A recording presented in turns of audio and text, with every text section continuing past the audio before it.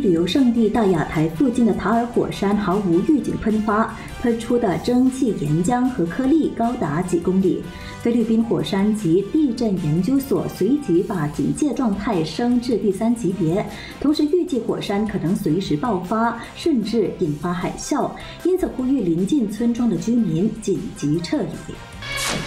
法国送给美国的第二座迷你版自由女神像小妹，几天前安全送抵纽约之后，被安置在爱丽丝岛，直到七月五号供民众欣赏。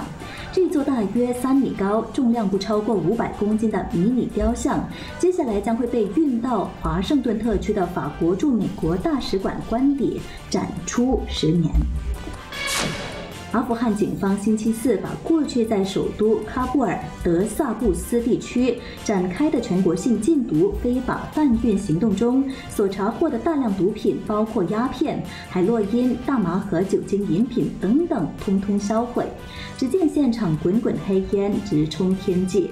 据悉，阿富汗是当今全球最大鸦片场地，当地民众就连出门买个菜，也能够顺道停在桥底买毒品。毒品泛滥问题有多严重，可想而知。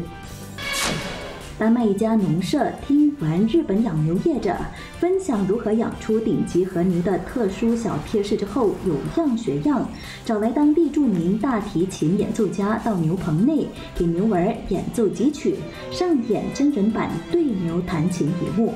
虽然谁都不敢说肉质真会变好，但是农场主人表示，当乐手开始演奏的那一刻，牛群还真的开始慢慢的靠近，而且全程都不会闹，叫他叹为观止。